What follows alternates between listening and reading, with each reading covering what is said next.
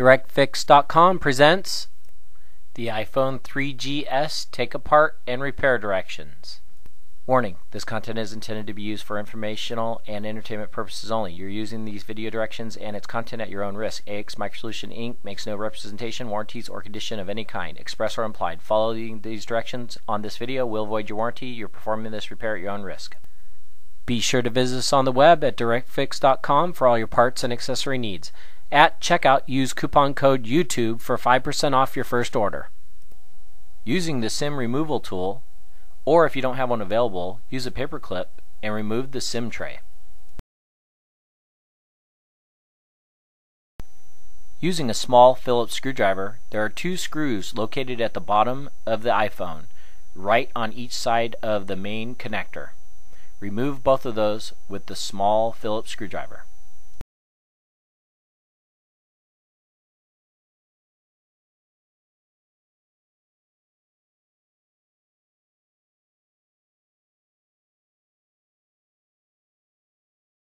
Using a case opener tool from DirectFix.com, pry it between the top of the chrome rim and the edge of the screen. This will allow you to pop the screen up. Be careful, there are still three ribbons attached.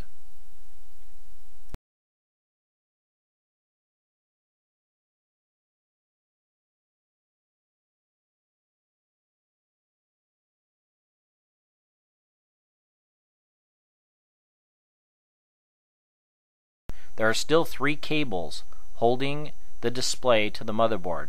They are numbered 1, 2, and 3. Make sure you remove them in that order. The third one is a little tricky as it is pushed in and not just pushed down on the connector.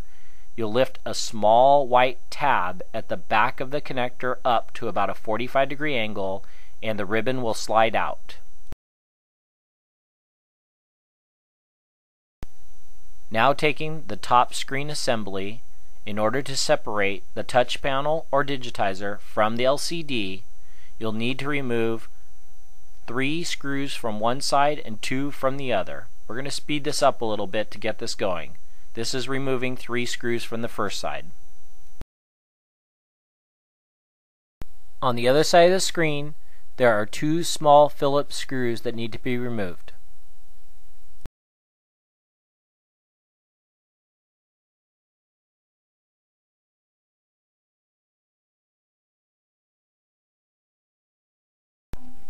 There is one more screw at the top back of the assembly that will need to be removed with a small Phillips screwdriver also before you're able to remove the LCD assembly. Using a case opener tool, gently remove the LCD assembly.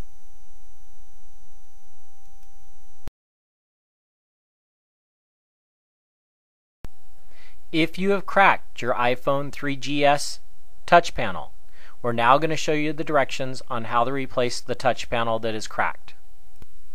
We're now going to remove the broken digitizer touch panel from the frame.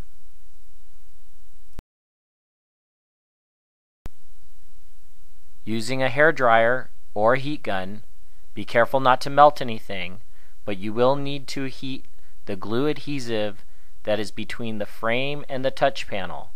You need to run the heat gun or the hair dryer around the edges of the assembly to loosen that glue. The length of time required to heat the frame may vary depending on the hair dryer or heat gun you're using.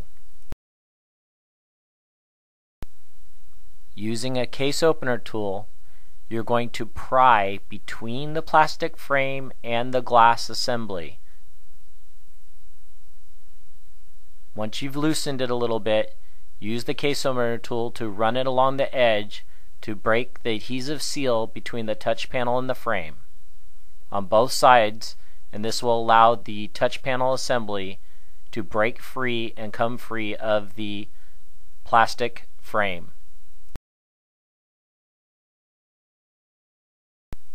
After you remove the digitizer touch panel, remove the old adhesive from the frame.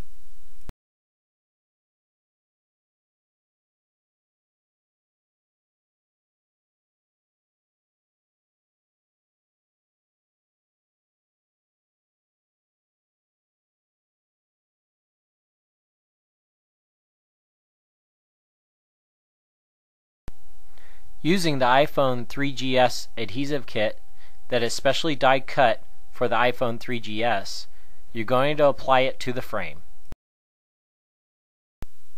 Once the adhesive is applied to the bottom, make sure to work out any of the air bubbles so it's firmly in place.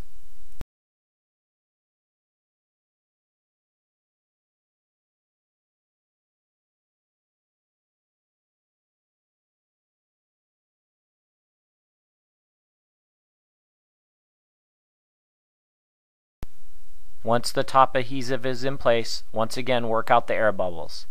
There is a small tab that will allow you to pull up off the little coating that will make the adhesive double-sided sticky on both the top and the bottom. Remove both top film from the top adhesive and the bottom adhesive.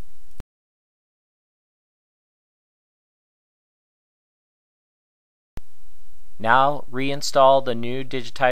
Make sure the cables go under the frame. Once you line up the top touch panel, make sure you line up the bottom with the home button also before pressing firmly to make the final seal and put it back together.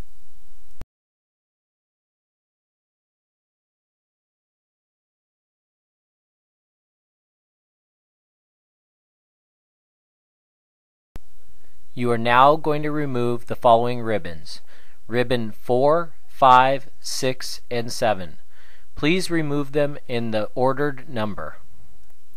Using a small Phillips screwdriver, you're now going to remove 7 screws.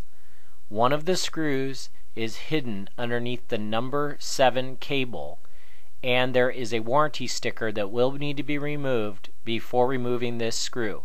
This screw is longer than the other ones. With the motherboard removed, we can now remove the battery. Using the case opener tool, the battery is only held in with some double-sided tape on the back. There is no other connectors holding it together. You'll be able to just pop it right out using the case opener tool. Please be sure to click the link on the right side of the screen to take you to our website, directfix.com, for all your parts and accessory needs.